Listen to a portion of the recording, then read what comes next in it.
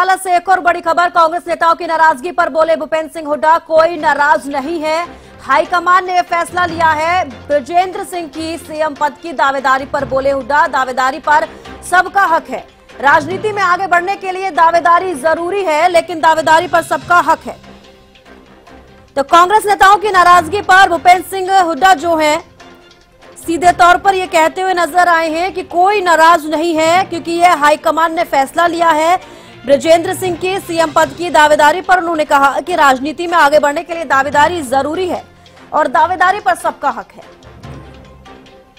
तो सीधे तौर पर जिस तरीके से कांग्रेस के अंदर नेता जो है काफ़ी नाराज़ चल रहे हैं, टिकट न मिलने पर, उस पर सीधे तौर पर बयान देते हुए नज़र आए हैं भूपेंद्र सिंह हुड्डा। वो कह रहे हैं कि कांग्रेस नेताओं की नाराज़गी नहीं है, वो कोई नाराज़ नहीं है। हाईकमान ने यह फैसला लिया है ब्रजेंद्र सिंह के सीएम पद की दावेदारी पर वो कहते हुए नज़र आए हैं कि राजनीति में आगे बढ़ने के लिए दावेदारी ज़रूरी है।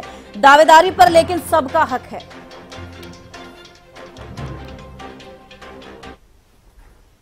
डॉक्टर साहब काफ़ी जो टिकट नहीं मिले हैं काफ़ी थोड़े नाराज़ चल रहे हैं आपके नेता। कोई नाराज़ नहीं है। तो पार्टी का फैसला है। वीरेंद्र सिंह ने कहा है कि वीरेंद्र सिंह ने कहा है कि उनके बेटा सीएम के दावेदार हैं।